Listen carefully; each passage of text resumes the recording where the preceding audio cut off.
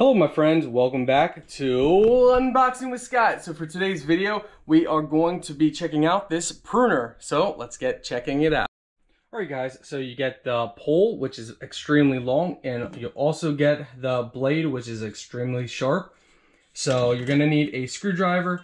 So all you do is you put this bolt right in through here once you have it on the actual pole. So on top of the pole, there's gonna be this little hole right here you just put this through there and in there and then you make it tight.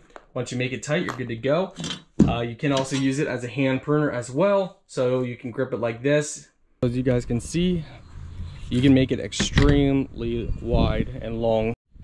So just like that, I mean, very, very long. Extended the whole way. So I uh, stepped off 13 feet. So somewhere in between 11 and a half and 13, you know, give or take.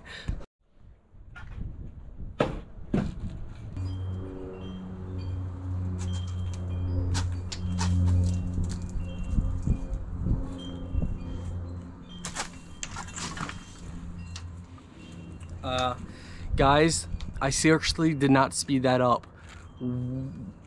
Why did this thing cut so fast? That was incredible. I did not speed that up. It was a fresh branch. That is unbelievable, guys. This thing is amazing.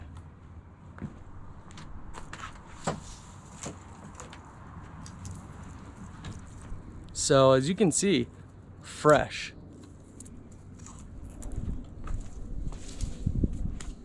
Well, safe to say, this gets a pass.